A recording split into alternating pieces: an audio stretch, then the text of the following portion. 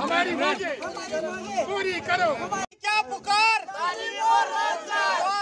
मजदूर अफराद की क्या पुकार? मैं? मेरा नाम रिफत जान है। मैं ब्लाइंड पर्सन ब्लाइंड पर्सन की ब्लाइंड कैटेगरी से बिलोंग करती हूँ। मैं ये प्रोटेस्ट हम इसलिए कर रहे हैं कि हमें ऑर्डर नंबर 59 जो है हमें वो मंजूर है किसी भी हालत में। क्योंकि इसमें जो नाइंसाफी हो रहा है वो सिर्फ़ ब्लाइंड लोगों के साथ। जो नौकरी है बिल रखा है बारह कैटेगरी को उन्होंने डिस्कालीफाइड कर। दिया ये जो बारह कैटेगरी है इसमें कौन कौन से आते हैं? वो जो जिनका कद छोटा है जिनकी दोनों टांगों में प्रॉब्लम है जो हंड्रेड परसेंट ब्लाइंड है और भी इसमें बहुत सारी कैटेगरी है, मिसाल सर जो एसिड वाली है, बहुत सारी कैटेगरी बारह कैटेगरी को इक्कीस में से उन्होंने डिस्कालीफाइड कर दिया जबकि हमने एक एग्ज़ाम क्वालिफाई किया है।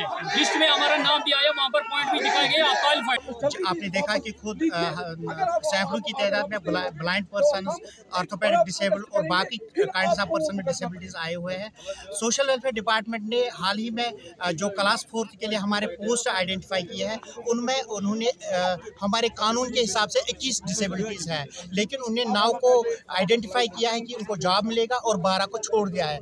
अगर हमने पढ़ा लिखा है, अगर हम दो टांगों से माजूर हैं, हम कम्प्लीटली ब्लाइंड हैं, हम हंड्रेड परसेंट डिसेबल पर्सन हैं, उसका मतलब ये है कि हम कुछ भी नहीं कर सकते हैं। हम चाहते हैं कि सोशल वेलफेयर डिपार्टमेंट हमें मौका दे, जहाँ पे भी वो हमें बोलेंगे काम करने के लिए, हम प्रूव करके देखेंगे हम एबल हैं, हम कुछ भी कर सकते हैं। जब हम चालीस साल के हो जाते हैं, हमारे माँ बाप सत्तर, अस्सी साल के हो जाते हैं, हमारा पेरेंटल सपोर्ट लॉस हो जाता है। मुसीबतों का सामना किया हमने बर्फबारी में एग्ज़ाम दिया हमने चालीस डिग्री की टेम्परेचर में एग्ज़ाम दिया हम बाहर गए।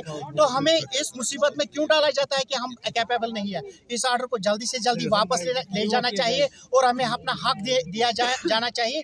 और जहाँ पे भी सोशल वेलफेयर डिपार्टमेंट को लगता है कि हमारी कैपेबिलिटी पे उनको शक है अ, हमें उनको मौका देना देना चाहिए और हम प्रूव करेंगे कि हम कैपेबल हैं हम कुछ भी कर सकते हैं।